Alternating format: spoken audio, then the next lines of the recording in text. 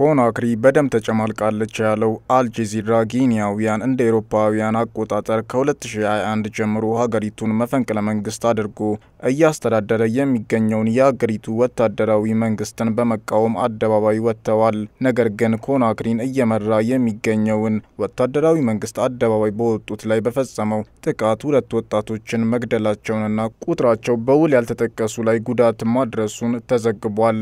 በኮናክሪ ውስጥ ትምህርት ቤቶች፣ ሱቆች፣ ገበያዎችና መንገዶች ጭር ብለዋል። ሆስፒታሎችም የጥቃቱ ሰለባ በሆኑ ወጣቶች በመሞላታቸው ሌሎች አገልግሎቶችን መስጠት አልቻሉም። ስማቸው እንዳይገለጽ የፈለጉ የፖሊስ ምንጮችና ምስክሮችም ይህንኑ ማረጋገጣቸው ተዘግቧል።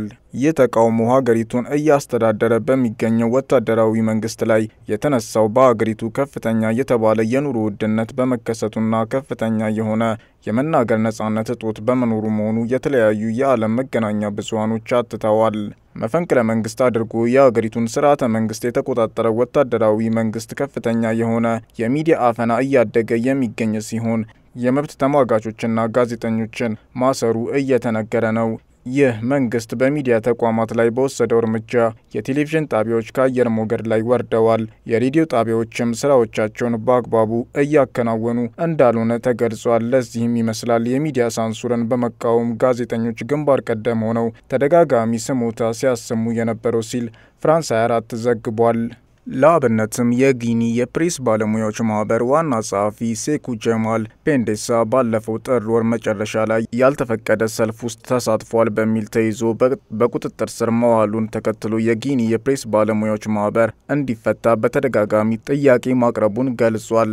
ከሶስት ወራት በፊት በሀገሪቱ ተጥሎ የነበረው የበይነ መረብ እገዳ በሀገሪቱ የሚገኙ የሙያ ማህበራት የስራ ማቆም አድማ ለማድረግ ማቀዳቸውን ይፋ ካደረጉ ከአንድ ቀን በኋላ ይህ የበይነ መረብ አገልግሎት በሀገሪቱ ወደ ነበረበት ተመልሷል። ይህም ለብዙዎች ግርምትን የጫረ የጊኒ ወታደራዊ መንግስት ተግባር ሆኗል። እንደ አውሮፓውያን አቆጣጠር በመስከረም 2021 መፈንቅለ መንግስት ስልጣን የያዘው ወታደራዊው መንግስት መሪ የሆኑት ጄኔራል ማማዲ ዱምቢያ ስልጣን ከተቆጣጠሩ በኋላ በኮናክሪ የተቃውሞ ሰልፎችን ማድረግ ብርቅ ሆኗል ሲል ፍራንስ 24 ዘግቧል። ጄኔራል ዱምቢያ በ2024 ጄኔራል ዱምቢያ በ2024 መንበረ ስልጣኑን ከተቆጣጠሩ ወዲህ በታህሳስ ወር በሀገሪቱ ዋና የነዳጅ ማከማቻ የደረሰውን ፍንዳታ ጨምሮ እስካሁን ድረስ በምንም አይነት ጉዳይ ላይ ንግግር ሲያደርጉ አልተደመጠም። ይህ ወታደራዊ መንግስት ከዓለም አቀፍ አካላት ስልጣኑን ለሲቪል አስተዳደር እንዲያስረክብ ጫና የተደረገበት ሲሆኑ ወታደራዊ መንግስቱን በ2024 መጨረሻ የመንግስት ስልጣንን ለሲቪሎች አስተዳደር እንደሚያስረክብ ቃል ቢገባም እስካሁን ግን ቃሉን መፈጸም አይደለም ቃሉን ለማክበር የጀመረው እንቅስቃሴ እንደሌለ ተዘግቧል። ዝርዝር ዘገባውን ስናዘጋጅ አልጀዚራን፣ ፍራንስ 24ንና አፍሪካን ኒውስን በማኝነት ተጠቅመናል።